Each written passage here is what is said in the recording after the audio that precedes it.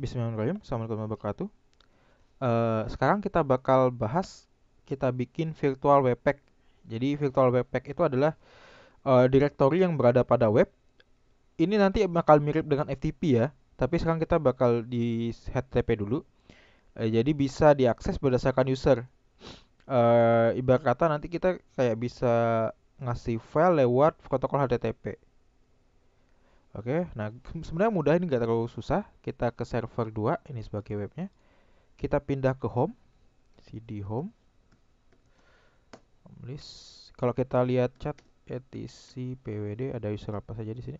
Eh, passwd, sorry. Uh, ada user coblak, ada di coblak ini.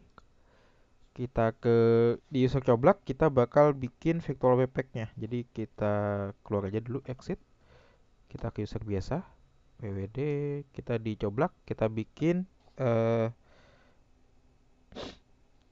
foldernya. Caranya make dir public underscore html seperti ini. Sudah. Nah sekarang baru kita masuk ke root lagi. Eh, kalau kita list sorry ls min la ini adalah punya coblak.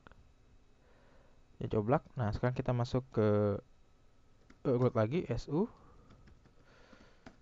Oke. List sudah ada. Nah, sekarang baru kita aktifkan uh, mod modulnya. Cara gampang A to enable mode. Uh, namanya user dir. Nah, itu dia. Oke, seperti ini. Tek. Oke, sudah. Sekarang kita tinggal restart. Uh, kita coba restartnya pakai sistem JTL restart Apache 2 ya. Kalau sebelumnya kan kita pakai etc init.d ya. Ini sama sih sebenarnya sistem ctl restart. Walaupun saya lebih suka dengan etc init.d sih apache 2 oke sudah. Karena saya terbiasa restart dengan ini kan etc init.d apache 2 restart. Nah, seperti ini karena ada statusnya. Oke sudah. Uh, kalau sudah kita coba buka klien Nah ini info juara LKS seperti ini. Nah sekarang kita slash an, ini tanda ini coblak coba. Nah ada filenya. Ini directory filenya ada. Kalau misalkan user root, root kita kan juga punya user root, tapi kita belum bikin public foldernya. Kita coba lagi. Uh, cd ini, ini buat langsung pindah ke home directory ya. Ini list kalau kalian tanda yang ini tanda ini itu pindah langsung ke home directory di root kan hmm. ini belum ada coba cut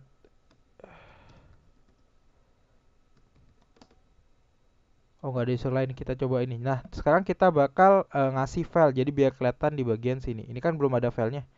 Parent directory nggak ada tuh.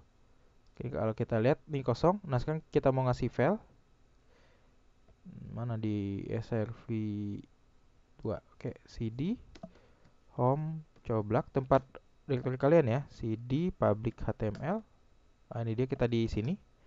Nah sekarang saya mau bikin directory misalkan macdir uh, software.